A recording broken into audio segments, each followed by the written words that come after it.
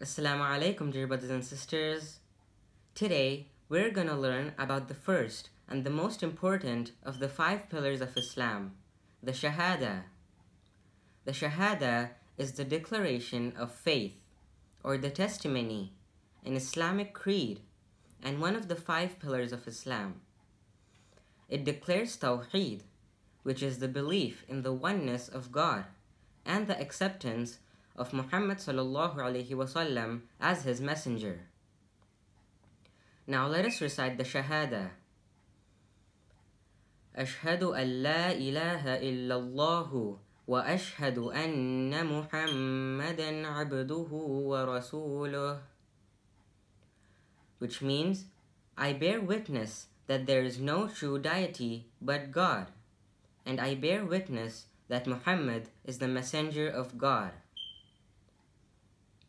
This is a sacred testament given for Muslims to uphold throughout their lifetime and embody in all their actions and intentions. We must recite the Shahada with full understanding and mindfulness of its meaning.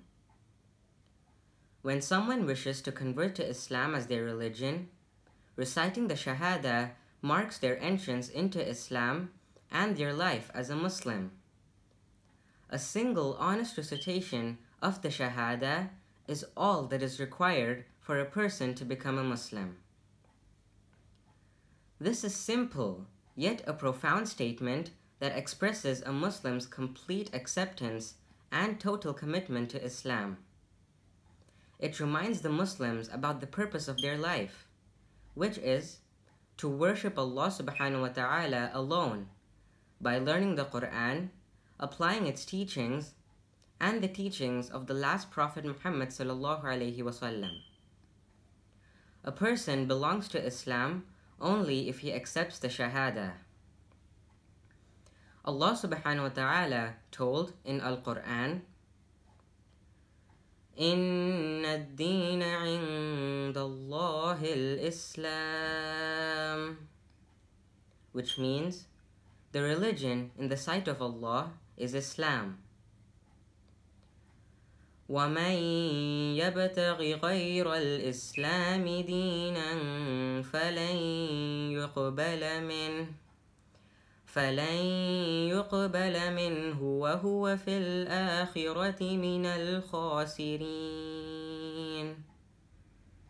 which means if anyone desires a religion other than Islam never will it be accepted of him, and in the hereafter he will be in the ranks of those who have lost themselves in the hellfire.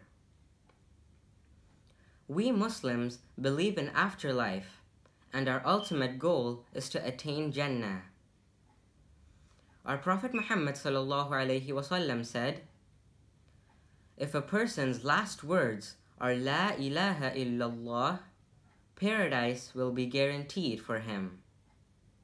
I repeat, our Prophet Muhammad wasallam said, If a person's last words are La ilaha illallah, paradise will be guaranteed for him. Our Prophet Muhammad wasallam also said, Anyone who recites the Shahada following after the wudu will have all the eight doors of Jannah open for him to enter from whichever of them he wishes. I repeat, our Prophet Muhammad wasallam said, Anyone who recites the Shahada following after the wudu will have all the eight doors of Jannah open for him to enter from whichever of them he wishes. The significance of the Shahada is further highlighted when it is recited in the adhan, or the call for prayer, and we repeat it many times when we perform the salah, or the prayer.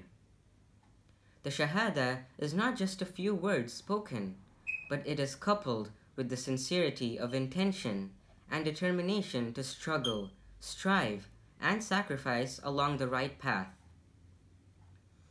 Inshallah, dear brothers and sisters, we will learn about the other pillars of Islam in our upcoming videos. Assalamu alaikum.